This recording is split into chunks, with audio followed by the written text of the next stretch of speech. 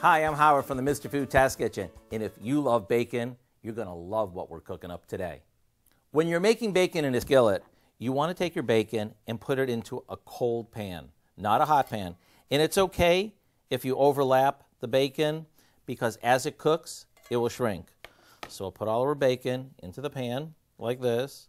And again, it's fine if you crowd it because it will shrink as you cook. Once all our bacon's in the pan, we're going to cook it low and slow. When you're cooking bacon, it's a good idea to use a splatter screen like this. This way, the grease that splatters ends up on the screen rather than all over your kitchen. Now, we take our bacon and we flip it.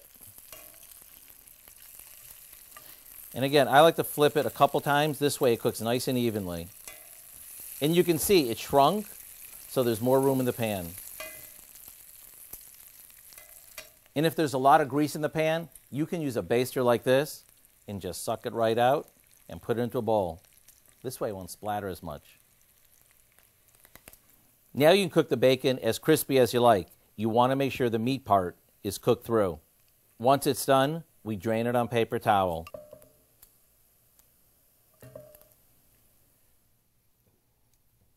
And when it comes to the bacon drippings, don't throw those away. When they cool slightly, store them in a can, a bottle, or a plastic container. This way you'll have it for cooking. Great taste.